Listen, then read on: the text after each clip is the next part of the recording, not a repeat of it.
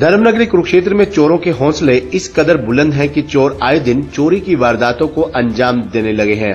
बीती रात चोरों ने सेक्टर तीन में सीएम नायब सिंह सैनी के आवास के निकट चोरी की दो अलग अलग घटनाओं को अंजाम दे डाला। चोरों ने घर के बाहर खड़ी कारों के चारों टायर, अलॉय व्हील, लाइटें निकाल ली। चोरी की वारदातें सीसीटीवी कैमरों में भी कैद हो गई हैं। कार मालिकों ने जब अपनी कारों के टायर निकले हुए देखे तो उन्होंने तुरंत इन घटनाओं की जानकारी पुलिस को दी। घटना की जानकारी मिलते ही पुलिस मौके पर पहुँची और जाँच शुरू कर दी। सेक्टर तीन में स्थित मकान नंबर 719 के कार मालिक ने बताया कि उनका घर सीएम आवास से महज 500 मीटर की दूरी पर है।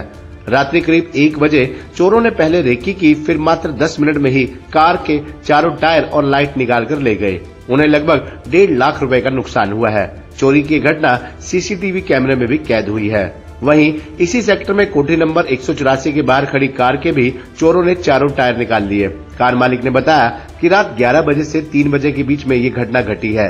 वे रात 11 बजे सोए थे और उन्हें उन्हें सुबह साढ़े तीन बजे मंदिर जाना था। जब वे सुबह साढ़े तीन बजे मंदिर जाने के लिए घर से निकले तो उन्होंने देखा कि उनकी कार के चारों टायर गायब थे। ये कहना चाहूँगा कि सेफ़ नहीं है। एक बज के पाँच मिनट पे आए।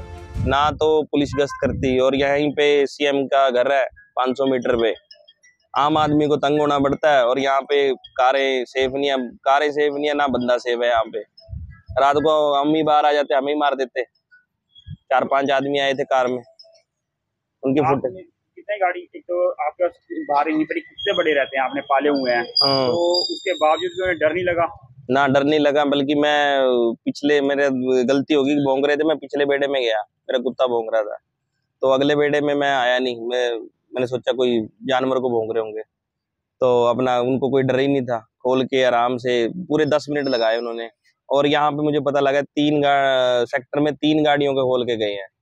और सेक्टर तीन सात सौ उन्नीस नंबर है। तो सेक्टर तीन में सीएम हाउस भी है में रेजिडेंस है यहाँ पर उनका। हम पास ही है ये पाँच सौ मीटर पे है। बताओ।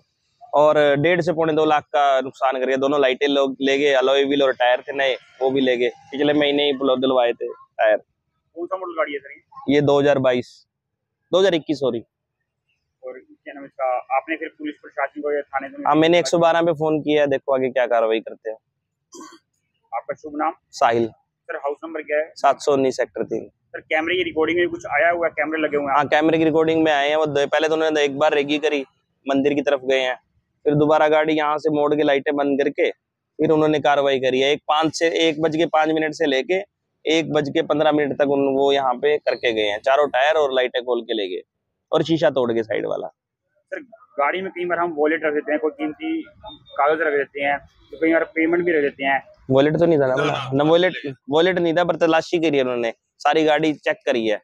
है नहीं था कुछ गाड़ी में। और कोई कीमती सामान तो नहीं ना और कुछ नहीं था गाड़ी में। कुछ नहीं था। हाउस नंबर क्या सर आपका? सात सौ उन्नीस नंबर है। क्या नाम आपका? नाम साहिल नाम है मेरा। साहिल। साहिल नाम है साहिल सैनी। और सेफ़ नहीं है हम यहाँ पे देख लो पास में ही घर है। आम जन से क्या अपील करना चाहेंगे पुलिस प्रशासन? आम जन से पुलिस प्रशासन हमें रोज चेक करती है इन जैसे चोरों को पकड़ती नहीं ना गश्त लगाती। हमारी गाड़ी आती है अंदर करती है सेक्टर में हमें तो चेक करते हैं इनको चेक नहीं करते चोरों को क्या ले रहे हैं क्या ला रहे हैं। भाई रात को गाड़ी चेक करनी चाहिए जब गाड़ी इधर गई है अमरी चौक की तरफ़ गई है।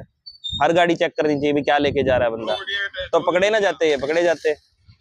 तीन गाड़ियाँ यहाँ से रात खुली हैं। एक सौ चौरासी नंबर में खुली है एक एक हमारे यहाँ खुली है तीसरी पता नहीं कहाँ खुली है। पता लगा मुझे। सर गाड़ी जो है टायर निकाल के इंटों पे रखे हैं। क्या इनके अपने साथ लेके आए थे? इंटे अपने साथ लेके आए थे। यहाँ पे नवी इंटे हैं। यहाँ पे कोई नवी इंटे नहीं है। नवी इंटे अपनी कार में रख के लेके आए और यहाँ पे लगाया उन्होंने और दस मिनट लगाया। पुलिस कहती है कि हम गश्त करते हैं रात को। हमारे को सुबह सूचना मिली थी कि सेक्टर तीन में घर के बाहर खड़ी गाड़ी के टायर उतार लिए गए हैं।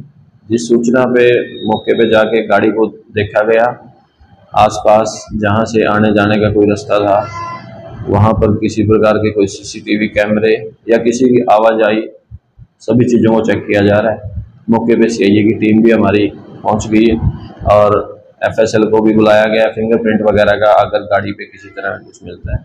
तो हर प्रकार से इन्वेस्टिगेट करके और जल्द ही इनको काबू किया जाएगा।